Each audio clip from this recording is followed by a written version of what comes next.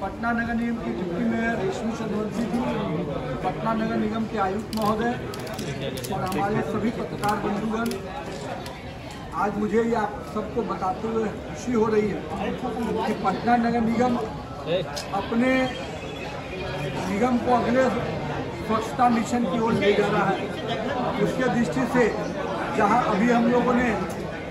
Door to door campaign को सफलतापूर्वक आगे बढ़ाया वहीं अब इसके आगे कलेक्शन के बाद सेग्रीगेशन और प्रोसेसिंग को लेकर नगर विकास आवास विभाग और एवं पटना नगर निगम पूरी टीम के रूप में इस मिशन को आगे बढ़ा दिया और इसके दृष्टि से पटना के सभी 75 वार्ड में नगर निगम के द्वारा 375 टीमें निकाली जा रही हैं जो सेग्रीगेशन के इस विषय को जन भागीदारी बनाएगी। और आम लोगों को कचरा कैसे सेग्रीगेट किया जाए, इसकी जानकारी भी देगी। इन 375 टीम का पूरा एक ट्रेनिंग वर्कशॉप तीन दिन का आयोजित किया जाएगा नगर निगम की तरफ़ से। और उसके बाद हम लोगों ने भी इसमें जन भागीदारी कैसे हो, इसके दृष्टि से भी आज से शुरुआत किया है। और 19 तारीख को महामहिम राज्यपाल महोदय के द्वारा पटना टोटल सेग्रीगेशन को लेकर पूरा ड्राइव शुरू किया जाएगा। जिसमें हमारे स्वच्छता एम्बेसडर जो हर फोरम के लोग को हम लोग बनाएँगे और पटना के आम लोग, पटना के शहरवासी, मेरा शहर मेरी जवाबदेही के विषय को लेकर एक स्वच्छता एम्बेसडर बनकर पूरे इस कैंपेन को आगे बढ़ाएँगे और हर घर घर तक कैसे कचरा का सेग्रीगेशन हो कलेक्शन तो शुरुआत हुई, अब सेग्रीगेशन कैसे हो, कैसे सूखा कूड़ा और गीला कूड़ा, दोनों को हर घर का हाउस होल्ड अपना अलग अलग कर कर नगर निगम को सपोर्ट करे और नगर निगम इस कलेक्शन के बाद, उसके सेग्रीगेशन के साथ साथ उसके प्रोसेसिंग को आगे बढ़ाए।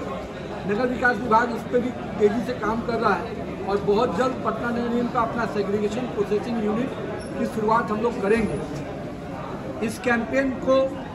मास कैंपेन और जन भागीदारी बनाने के लिए हम लोगों ने विभिन्न संस्थानों को स्टेक होल्डर्स बनाया है। और इसमें और भी कई संस्थानों को जोड़ने की योजना है। जैसे कि हम लोग सारे प्राइवेट स्कूल्स एसोसिएशन से बात कर रहे हैं कि हर स्कूल में ये कैंपेन जाए। सरकारी स्कूल के जो भी हमारे प्रिंसिपल्स हैं, उनको इस पार्टिसिपेशन में जोड़ेंगे बिहार चैम्बर ऑफ़ कॉमर्स के साथ मीटिंग करेंगे। बिहार इंडस्ट्री एसोसिएशन, पटना के जितने दुकानदार संघ उन सब के साथ हम लोग की मीटिंग होगी। इसके बाद सरकारी कर्मचारी ट्रांसपोर्ट एसोसिएशन, जितने होटल्स हॉस्पिटल्स और रेस्टोरेंट्स उनके लोगों के साथ भी हम मीटिंग्स करेंगे। एनजीओ एवं क्लब्स जो होते हैं Rotary lions and other clubs जो है, पटना में रोड इनर व्हील क्लब हो, इस प्रकार की जितनी स्वयंसेवी संस्थाएँ हैं, उनको भी इसमें जोड़ने की योजना है। रेसिडेंशियल वेलफेयर एसोसिएशन जो हमारे यहाँ के अलग अलग अपार्टमेंट्स के एसोसिएशन के लोग हैं, उनको भी इसमें हम लोग जोड़ने वाले हैं। इसके बाद कोचिंग संस्थाएँ यूनिवर्सिटी के कॉलेज कॉलेजेस के लोग को भी, यानी पूरी तरह से इसमें जन भागीदारी कैसे बढ़े, इसके दृष्टि से हम लोग इसमें वर्कआउट कर रहे हैं। और सबसे बड़ी बात है कि नगर निगम ने जिस प्रकार से इस पूरे ड्राइव को शुरुआत करने के लिए एक पूरा रोड मैप बनाया और हम लोगों ने मिलकर उसमें जन भागीदारी कैसे हो,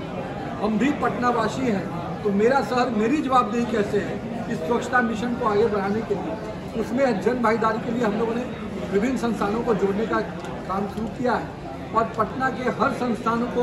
हर व्यक्ति को, हर घर को जोड़ना है। इस कैंपेन का पहला मकसद होगा। आप सभी के ध्यान में होगा, करीब 1600 टन कचरा प्रत्येक दिन पटना से उठने की क्षमता है। अब उसके सेग्रीगेशन को लेकर जब तक हर घर नहीं जागरूक होगा, तब तक हम ये मिशन को सफल नहीं कर पाएँगे। और मैं, जैसा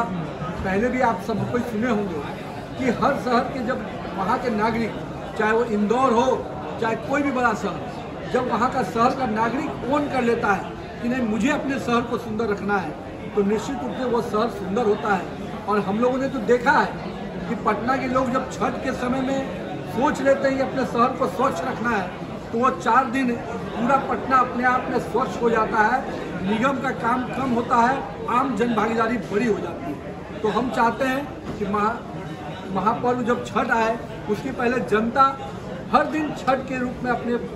शहर को स्वच्छ कैसे रख सकती है, इस कैंपेन को इस रूप में हम लोग शुरुआत कर रहे हैं। उन्नीस तारीख को महामहिम राज्यपाल महोदय के उपस्थिति में बाबू सभागार में ये कार्यक्रम का शुरुआत होगा और इसके बाद पूरे दो महीने इस कैंपेन को हम लोग चलाएँगे और फिर एक तिथि तय कर कर इस पूरे कैंपेन को समाप्त करेंगे। तब तक जनता को एक एक घर को इसको जोड़ने की योजना पर हम लोग काम करेंगे सर, पाटलिपुत्रा में कचरा डंपिंग यार्ड